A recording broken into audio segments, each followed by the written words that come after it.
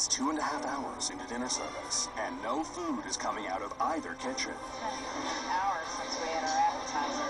However, on the blue side, food is coming back into the kitchen. What table's that? Uh, blue side, chef. They requested well done, and it's blood all over.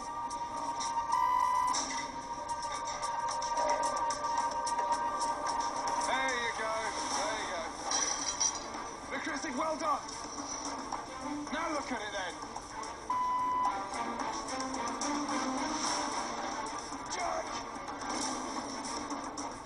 Pride in myself and what I do. I'm just gonna keep working, try and get the food out.